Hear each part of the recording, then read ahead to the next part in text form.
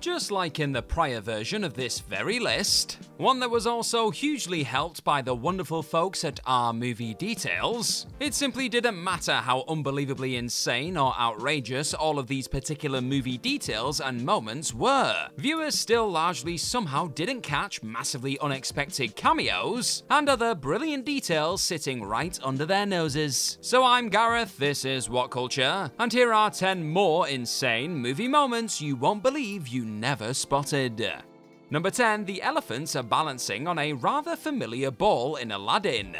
Guy Ritchie's 2019 live action remake of Aladdin brought with it Will Smith's take on the charismatic genie in the lamp that was once iconically played by the late great Robin Williams. One of the most adored moments to go down in that original animated version of the feature involved Williams' Blue Legend unleashing a colourful rendition of the Friend Like Me tune, and fans were very much curious about what Smith himself would bring to such a well known Disney classic. Whilst being well and truly distracted by the big blue magical figure bringing the showstopper to an end with a few splits alongside Mena Massoud's titular hero though, many probably overlooked a rather cute easter egg being insanely balanced on by some CGI elephants in the background. Look closely at said balls somehow not being crushed by the giant mammals, and you'll probably just about spot that this is the very same blue and yellow ball with a red star on it, aka the Luxo ball, that has popped up in a ton of Pixar projects over the years, including Toy Story, Up, The Incredibles, Inside Out, and more. And while Aladdin may not fall under the Disney Pixar animated banner, Ritchie and the House of Mouse still clearly wanted to salute the studio and unmistakable ball here in the most insane but easily missed way imaginable. Now, what's your favorite Disney movie of the last decade? Was it Aladdin or something else? You let me know in the comment section down below, friends. Number 9. The inverted Nike logo in Spider-Man Across the Spider-Verse's darker universe. Without doubt, one of the most gloriously detailed and gripping animated features released in the last decade, Spider-Man Into the Spider-Verse sequel Across the Spider-Verse is honestly the visual gift that just keeps on giving. It often feels like absolutely every frame is overflowing with easy-to-miss Easter eggs and details just begging to be discovered by audiences. And that was definitely the case during the closing moments of the mesmerizing and hugely moving 2023 picture. As Miles Morales surprisingly finds himself in the Earth 42 dimension instead of his own, a quick look at that universe's skyline shows you just how much darker things really are in this world. This being the universe where Miles or anyone did not become Spider-Man, the city's crime levels are through the roof, and it appears a lot of the hope and positivity has been drained out of it, as seen in the fact the iconic Nike Just Do It slogan has been replaced by a far more negative Don't Do It one on a building in the background. It's such an insanely small but marvelous detail detail, and one that is easily not caught during even your first few watches. But once you do, it makes an already bleak universe feel that little bit more hopeless. Number 8. An easily missed shooting star shows the network arriving in the world's end. Before telling the invading big lamp known as the Network to F off during Edgar Wright's final Cornetto trilogy flick known as The World's End, said alien entity lets Gary King know that they've helped connect the planet through technology over the last 23 years, confirming they've been on Earth for over two decades. But that was actually already secretly revealed very early on in the picture, during the beer-soaked opening scene. That sequence which focuses on King and his pals attempting to complete the Golden Mile, a 12 pub crawl in the town of Newton Haven as youngsters, ends with Gary sat on a hill watching the sunrise after a hell of a night out. And it's during that moment that you can actually spot a quite insane visual detail if you're looking closely enough. Basil mentions later on in the movie that when a shooting star shot across the sky on the night of the gang's original pub crawl, that was actually the network arriving on their planet. Keep an eye on the top left part of the sky as Gary sits on the hill as a youngster, and you'll absolutely see that very same shooting star crashing down to the Earth for a second or two, all the way back in 1990. 23 years before Gary meets the network. Basil called it. Number 7. The Changing Lamp in Oppenheimer.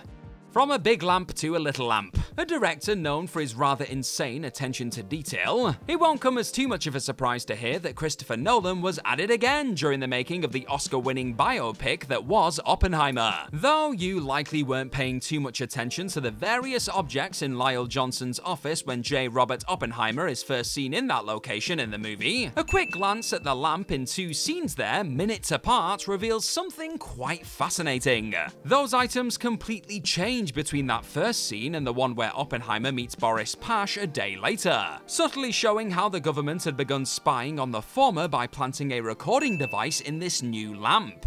Such an insane detail is so easily overlooked during a first watch of this massive epic. But with the words exchange in this office eventually being used as evidence against Oppenheimer during his intense security hearings, it does appear that this swiftly changing lamp had something to do with it.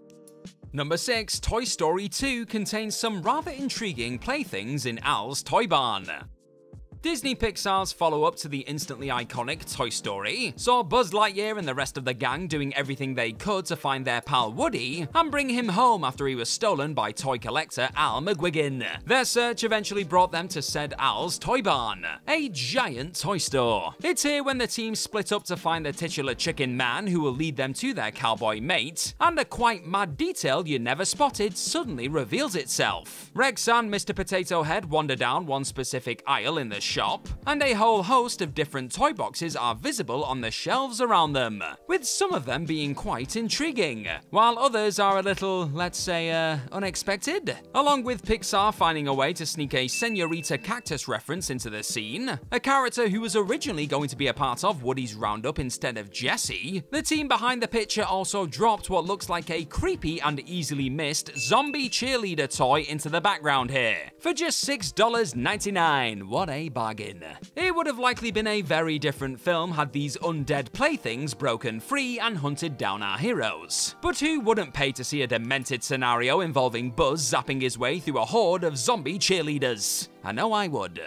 Cheers for checking out this video today, hit that subscribe button down below for more WhatCulture on your screen. Number 5, Dobby the Elf Gucci model is visible in Chip 'n Dale Rescue Rangers.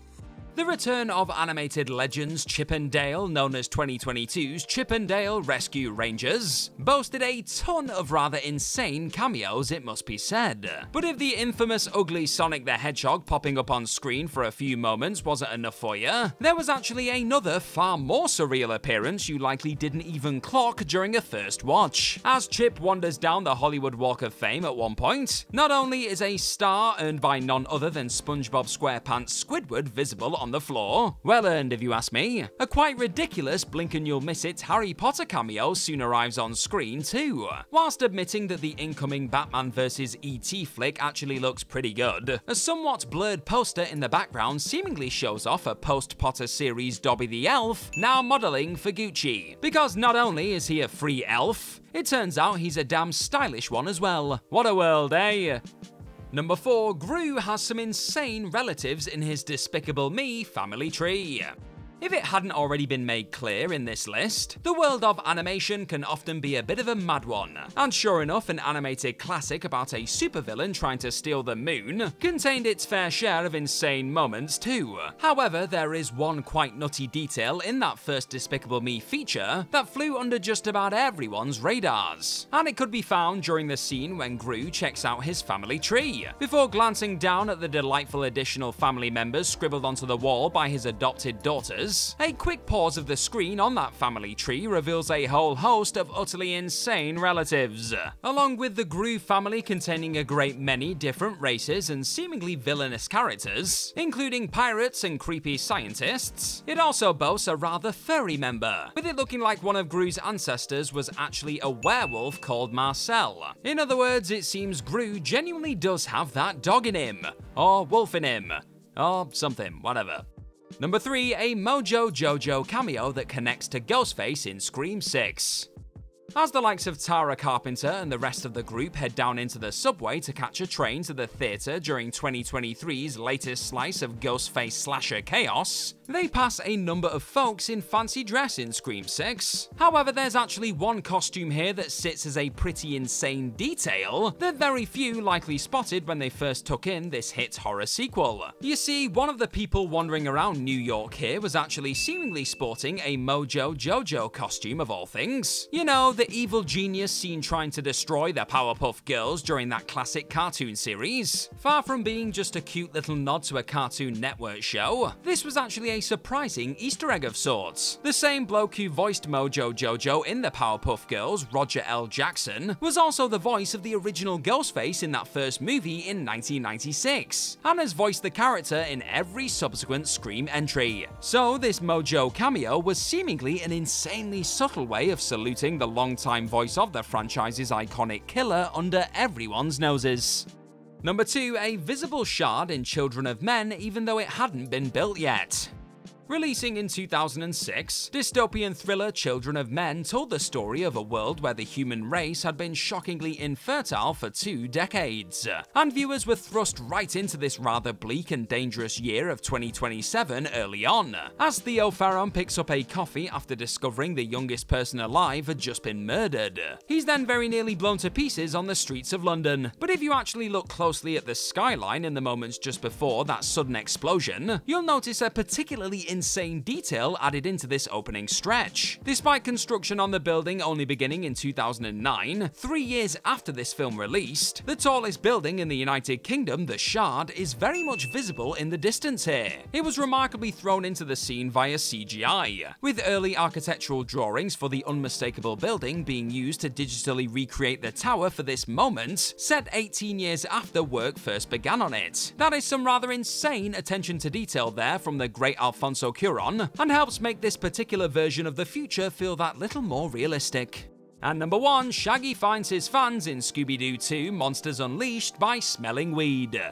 It's definitely hinted at on a number of occasions during the first live-action Scooby-Doo movie that the titular mutt's best pal Shaggy was a big old fan of the marijuana, and that 2002 family film's follow-up Scooby-Doo 2 Monsters Unleashed once again offered a few easily missed details that suggest Shaggy knows a thing or two about getting high. Not long after Mystery Inc. arrived to open an exhibition focusing on the many mysteries they'd solved in the past, the laid-back Shaggy walks down the red carpet before being stopped in his tracks by what seems to be a familiar smell. As a very subtle cloud of smoke departs, he soon spots the group of Shaggy stands cheering him on nearby, and quickly starts throwing out totally awesome high fives. It's pretty clear what's being suggested here, and it's a quite insane detail. One you won't believe you overlooked for so long, that was somehow snuck into a big screen adaptation of a family-friendly cartoon. And the hiding in plain sight wee jokes seemingly don't stop there either. As many a Scooby-Doo die Hard has spotted over the years, it very much looks like Scoob's mate is dressed up as a blunt here too.